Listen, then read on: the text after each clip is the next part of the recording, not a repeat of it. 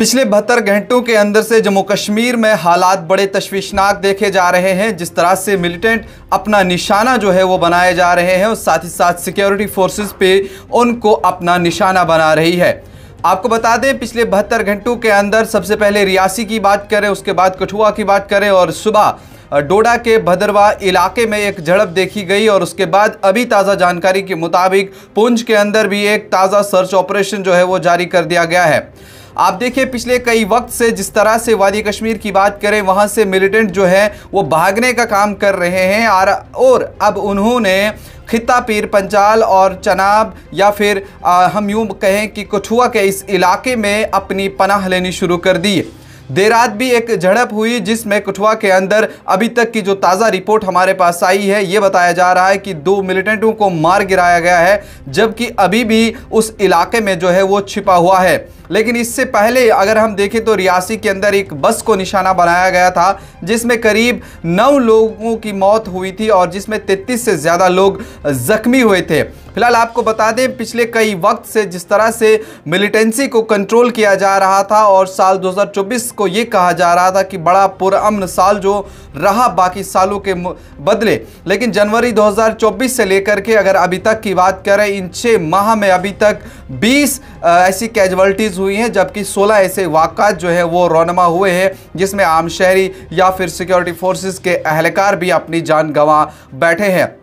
लेकिन ऐसे में अगर हम देखें, रात की ताज़ा झड़प जो है वो अभी भी कठुआ के अंदर जारी है। उस पर जो एडीजीपी जम्मू आनंद जैन ने उनकी तरफ़ से ट्वीट रात को भी किया गया था और सुबह भी उनकी तरफ़ से ट्वीट किया गया था, जहाँ पर चार से पाँच जो है वो आर्मी के जवान जख्मी हुए थे और साथ ही साथ उसके साथ एक एसपीओ भी जख्मी हुआ था, जहाँ उन्हें फौरी इलाज मुआवजा के लिए उधमपुर मुंतकिल किया गया था जहाज़ के ज़रिए से। आपको बता दें, इससे पहले कई सारे ऐसे वाक़ात रौनमा हुए हैं, लेकिन अब जिस तरह से इलेक्शन जो है वो बड़े पुरअमन तरीके से गुजर गया, लेकिन अब जो हालात जम्मू के अंदर देखे जा रहे हैं, बड़े ही तशवीशनाक है। पिछले बहत्तर घंटों के दौरान तीन ऐसे बड़े हमले और उसके बाद अब जो ताज़ा ऑपरेशन पुंछ के अंदर भी शुरू हुआ है, उसकी अभी कुछ रिपोर्ट सामने नहीं आई है, लेकिन हमारे नुमाइंदे वहाँ पर भी मौजूद है, जो ही वहाँ से अपडेट आएगी, वो भी आप तक पहुँचाएँगे। लेकिन फ़िलहाल जिस तरह से अगर हम पिछले कई वक्त की बात करें, टारगेट किलिंग का सिलसिला बड़े ज़ोर से चल रहा था, लेकिन उसमें भी रोकथाम आई है।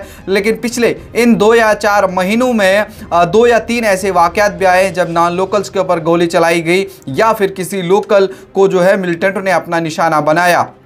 उसमें अगर हम बात करें, आज सुबह डीआईजी एसएसपी कठुआ जो है उनकी गाड़ी के ऊपर भी हमला किया गया और उसके बाद मिलिटेंट जो है, वहाँ से छुप गए, वो घात लगाए हुए बैठे थे। लेकिन अब जो खबर सामने आई है, उसमें साफ़ तौर पर बताया जा रहा है कि दो मिलिटेंटों को मार गिराया गया है। तीसरे की तलाश जो है, अभी भी जारी है। देर रात एक घर में मिलिटेंट घुस जाते हैं और पानी मांगते हैं और उसके बाद उस घर के जो अफराद हैं, किसी तरह से वहाँ से बच के निकल जाते हैं और उसके बाद मिलिटेंट उन पर भी जो है गोलियाँ चलाते हैं, जिसके नतीजे में वो शहरी भी जो है वो जख्मी है और फ़िलहाल वो अस्पताल के अंदर उनका इलाज चल रहा है। मजीद इस हवाले से क्या कुछ अपडेट आएँगे, वो भी आप तक पहुंचाएँगे, लेकिन फ़िलहाल कश्मीर में जिस तरह से सिक्योरिटी को बढ़ा दिया गया है, वहाँ पे मिलिटेंटों के लिए एक चैलेंज बन गया है। अब वहाँ के बजाय मिलिटेंट जो हैं, वो खिता पेर पंजाल या फिर इन कठुआ बॉर्डर वाले इलाके या फिर रियासी के इलाके में अपनी पनाह ले रहे हैं। और देर रात रियासी पुलिस ने भी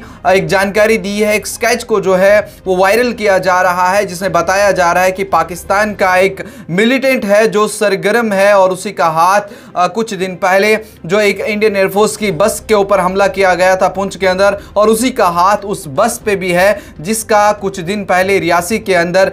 उस पर अटैक किया गया था और कहीं ना कहीं 20 लाख रुपए तक का नगद इनाम जो है उसके ऊपर रखा गया है, जो भी उसकी खबर देगा। इस हवाले से मजीद क्या कुछ अपडेट हमारे पास आएँगी, वो भी आप तक पहुंचाएँगे। लेकिन फ़िलहाल जम्मू कश्मीर के अंदर इस वक्त सूरत हाल बड़ी तशवीशनाक सिक्योरिटी को जो है बड़े हाई अलर्ट पर रखा गया है। कहाँ से क्या कुछ अपडेट आते रहेंगे, आप तक पहुंचाते रहेंगे। पुंछ की क्या सूरत हाल रहेगी, कठुआ का क्या अपडेट रहेगा।